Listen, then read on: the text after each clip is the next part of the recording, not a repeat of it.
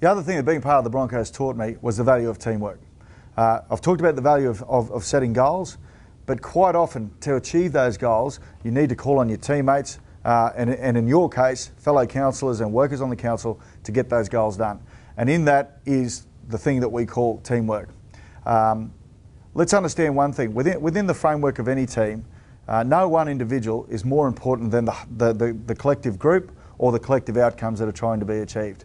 Uh, and teamwork of, oftentimes involves a certain level of compromise. And to compromise means that you've got to give some ground, uh, to, to, to give a little bit away to get a, a common goal achieved.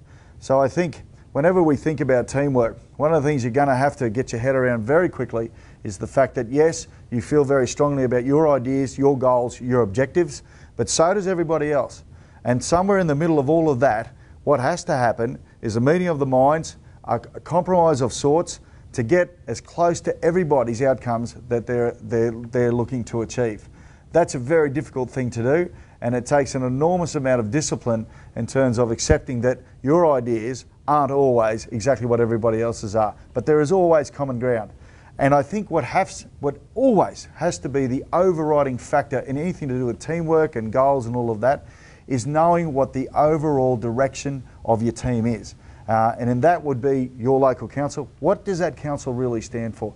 And in that, every decision, every piece of goal, every, every dream, everything that's part of that has to be always pointing in that same direction.